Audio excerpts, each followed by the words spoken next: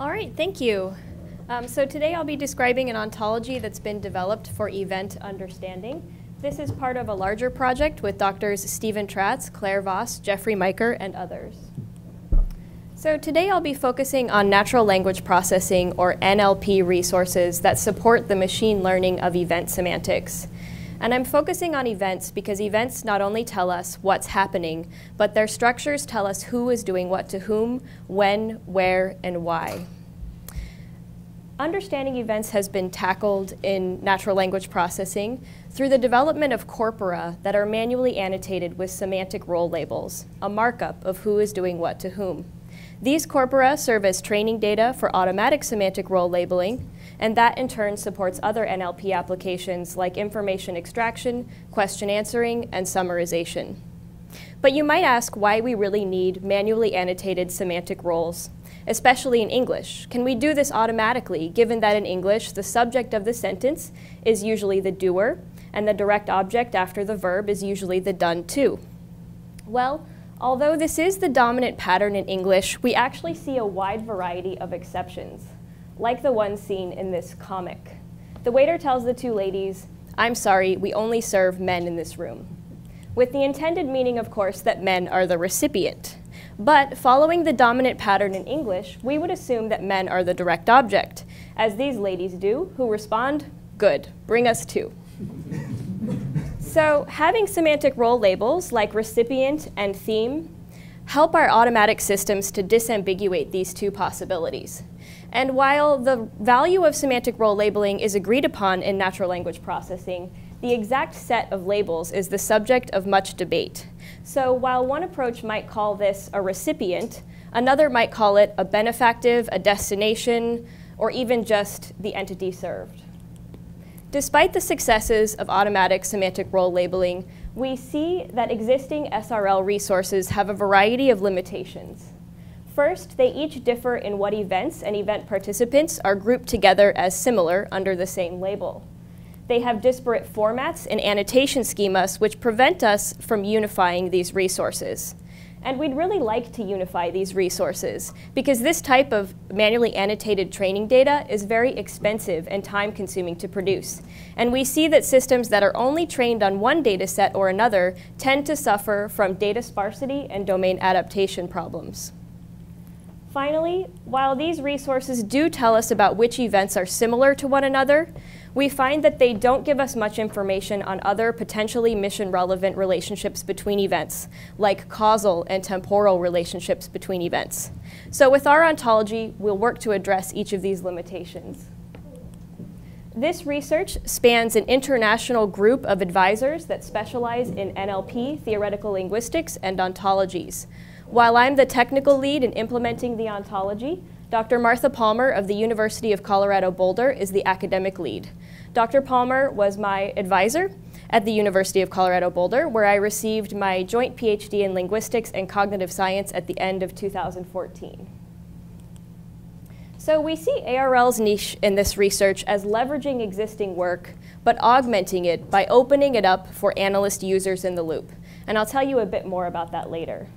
And why am I in particular working on this project? Well, I started working as an annotator on an SRL resource over 10 years ago, and I continued to work on refining and expanding these resources throughout my time as a graduate student. So while I think that there are a wide variety of challenges that the event ontology can help to address within autonomous systems, the Army challenge that I'd like to focus on today is that our analysts are faced with overwhelming amounts of unstructured, noisy, but potentially very valuable information.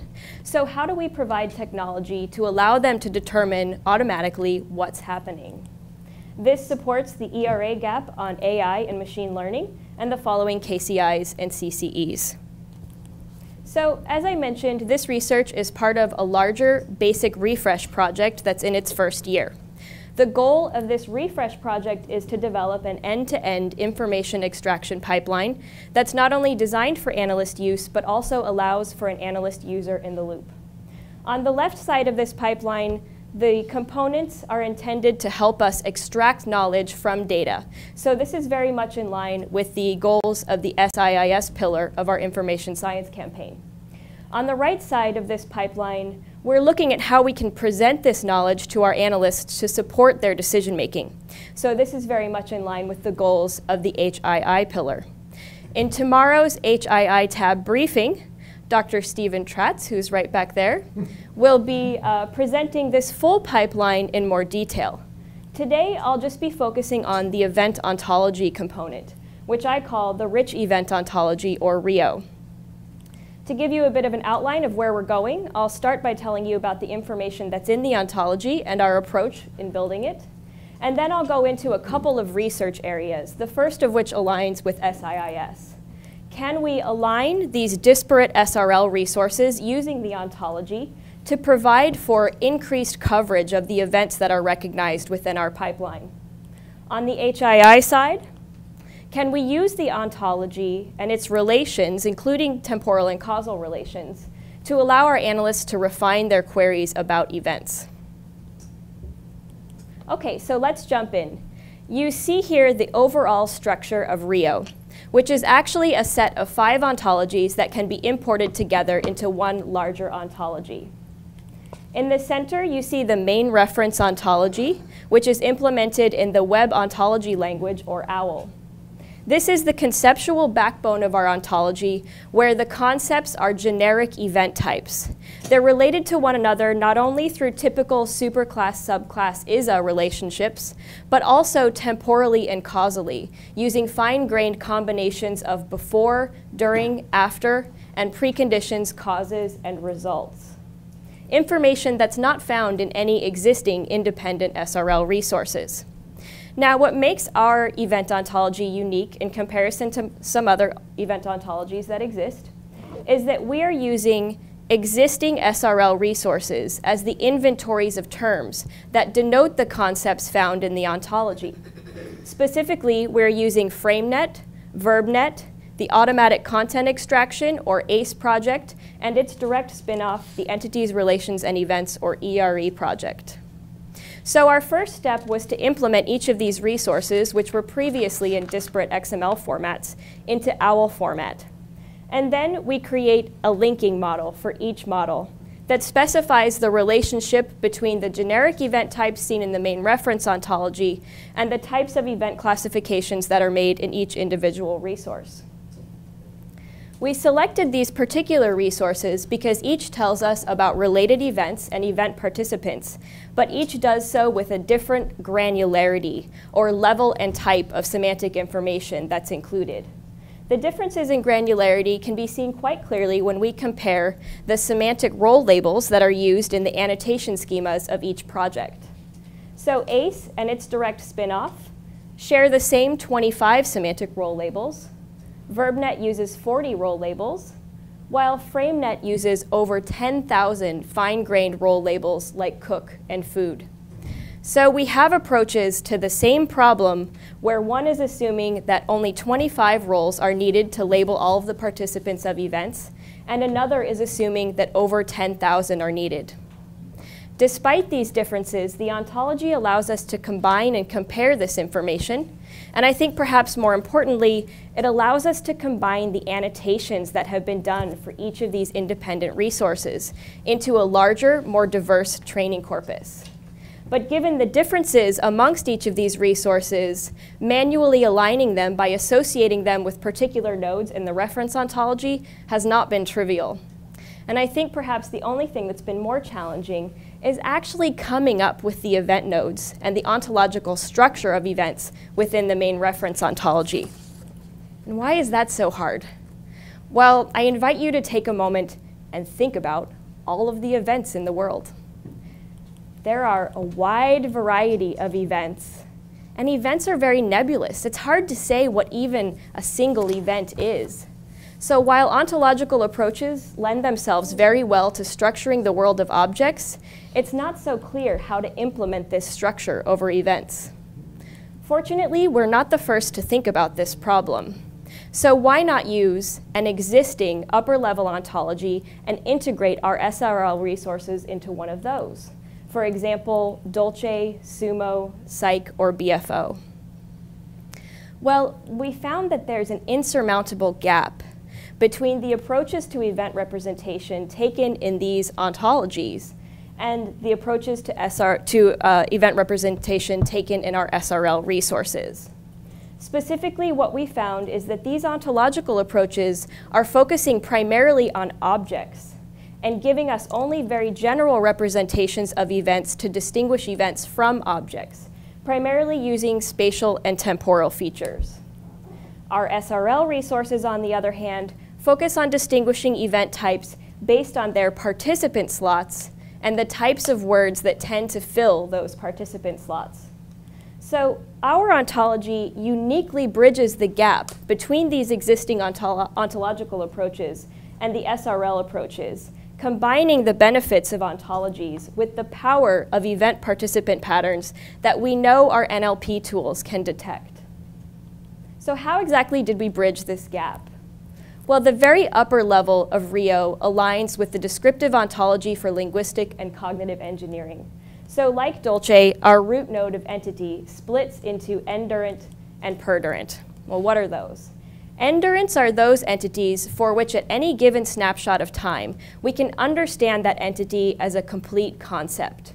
So for example, this horse and this rider are both endurants. Perdurants, on the other hand, are those entities for which we can only understand a part if we're given a single snapshot in time. So for example, the sequence of this horse jumping over the fence is a perdurant. In our ontology, perdurants then split into stative perdurants, like love and know, which are thought to be a single homogeneous event throughout their initial, internal, and final subperiods. And then eventive perdurants, which are thought to be a series of events or states and a series of transitions between them. For example, the event of closing a door. Now, while I think that this is very elegant, what we've captured here, that everything that happens in the world can be broken down into states, transitions between those states, and the acts that affect those transitions. This type of information still doesn't map well to our SRL resources. But as we delve deeper into the ontology and the daughters under eventive perdurant, we start to see the defining distinction in classes shift towards patterns of event participants, or what we can call the neo-Davidsonian style of representing events. Davidson originally proposed a style of representation like this. There exists an event, and that event has at least one participant. It was Parsons that put the neo in neo-Davidsonian, when he proposed augmenting Davidson's original proposal with semantic role labels. So for example, a caused change of location event, like the player threw the ball to his teammate, would have a neo-Davidsonian style of representation like this. There exists a throwing event, the agent of that event is the player, the theme is the ball, and the destination is the teammate. So now we've moved from ontological type distinctions in our classes based on spatial and temporal features to a neo-Davidsonian style of representation that maps very well to our semantic role labeling resources, and we've bridged the gap between these two approaches. So let's turn to the current status of this project. As part of a basic refresh project in its first year, the ontology is still under development. But at this point, we've completed all of our OWL resource models, with all of the events that are included in those resources, the event mentions that fall into a particular class, as well as all the participants associated with a class. Within our main reference ontology, we've provided coverage for all of the types of events that we find in our ACE and ERE resources. We've started with these because they're thought to be events of interest to the DoD community, for example, conflict and justice events. Across all of our ontologies, we now have over 16,000 unique event mentions. So that's our wide vocabulary of event denotations. I'd like to turn now to our two evaluation areas, which relate to our goals for the ontology within the information extraction pipeline. So our first goal is to provide increased coverage of the number of events that are recognized in our pipeline. So you can see here our ontology as it's implemented in Protege, an open source ontology editor. I'd like to focus for the moment on legal action type events. One daughter are arresting events. So these generic arresting events in our reference ontology are associated with each of our resource models through the relation has reference group. So arresting events have three reference groups, arrest jail in ERE and ACE, and the arrest frame in FrameNet. Within each of these reference groups, we find words that could potentially denote this type of event or have been marked up in past annotations as denoting this type of event. And we can call these triggers of the event type. Okay, so stepping back for a moment, I'd like you to consider all of these legal action type events, so all of the daughters here. If we had an IE system that was trained only on ACE data, which is very common because ACE is the benchmark data set used by NIST in evaluating information extraction systems. So within ACE data, we have 102 triggers marked up for these legal action type events. So we could recognize about 102 types of events. Excuse me. Then if we use the ontology to combine all of our resources, we quickly move up to 389 recognized triggers for the legal action type events. Now, while I think that this is promising, we have to see the impact that this would actually have within an information extraction pipeline. So we're doing just that. We're using the ontology to incrementally add to the training data in our information extraction pipeline. In this early stage in our research, We've retrained a system from our partners at RPI using just the ACE data to obtain these baseline numbers for precision, recall, and F measure on event trigger identification. At this very moment, we are working to retrain this pipeline using the combined ACE and ERE data. And I would have loved to give you those numbers today, but we've run into some stumbling blocks given small differences in the two data sets and the somewhat brittle nature of this pipeline, a problem that we're working to address more generally within our refresh project. Nonetheless, you can see the qualitative difference that combining just the ACE and ERE data makes. By examining some of our test set data, which are open source documents relating to Kosovo that were selected by our analysts you can see quite clearly a greater number of our event triggers shown in red on the right in the combined ACE plus ERE system. So turning now to our other evaluation area, looking at how the ontology can help users to refine their queries about events. In our future work, we'll be exploring this in user studies, where we compare analysts' decision-making efficiency with and without the event ontology in our information extraction pipeline. Until this is complete, I'll just give you a sample use case today. So for a particular domain in the ontology, for example, the conflict and protest domain, we are using domain expertise to establish the typical temporal and causal relations between events and sub-events that form a larger scenario. In the case of protest, we used social science literature to establish the fact that firstly, communication is a defining sub-event of protest. Protest by nature uh, involves the communication of some calls for change. And taking sides is a precondition of protest. But we also found that group identity is a precondition of taking sides. But group identity alone is generally not enough. Generally, we also see some type of grievance or trigger for intergroup conflict. So, if our analysts are interested in querying not just for protest events, but for events that might indicate a protest to come, they can query for the preconditions of protest. For example, taking sides and its associated triggers like endorse or oppose. So in this way, the ontology allows for users to query for events that are related to other events in explicit higher order scenarios. So to wrap up, we've seen that Rio allows us to combine resources, and it also brings added value to those resources in the form of ontological structure.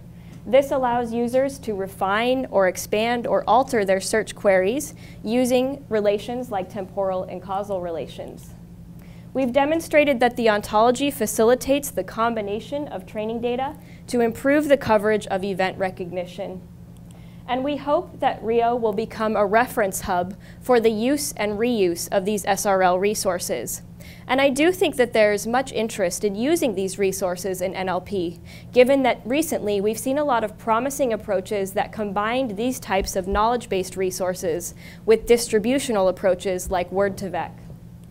For our Army warfighter, we're leveraging existing resources to deliver state-of-the-art event recognition in an IE pipeline designed specifically for analyst use.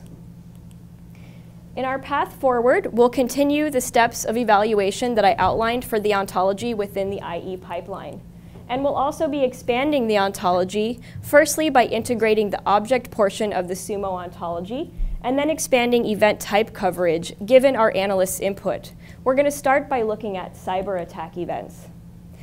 In collaboration with folks in sensing and detecting, we're also evaluating the utility of the ontology in human activity recognition exploring whether or not there's a level and type of event representation that's suitable for both text and video.